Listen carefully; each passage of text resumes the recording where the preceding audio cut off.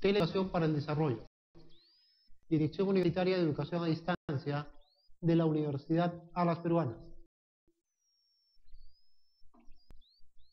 En la presentación vamos a desarrollar la de la letra capital de Word 2007.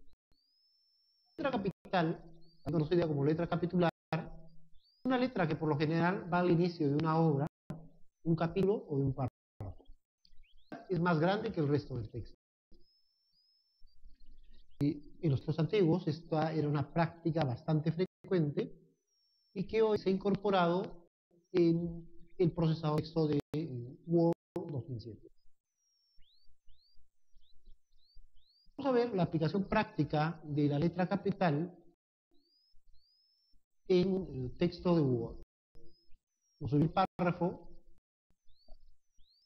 queremos aplicar la letra capital.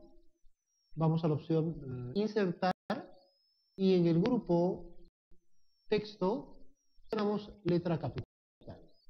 Esto sale una opción, nosotros podemos desplegar y elegimos en texto lo que va a ocurrir es que se va a activar una letra capital al interior del texto.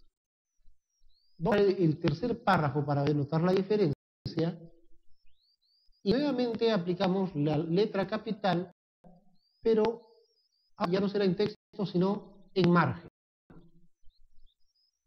Así, y aplicamos. Lo ocurrido es que en la anterior la capital ocupaba la posición del eh, texto, al interior del texto.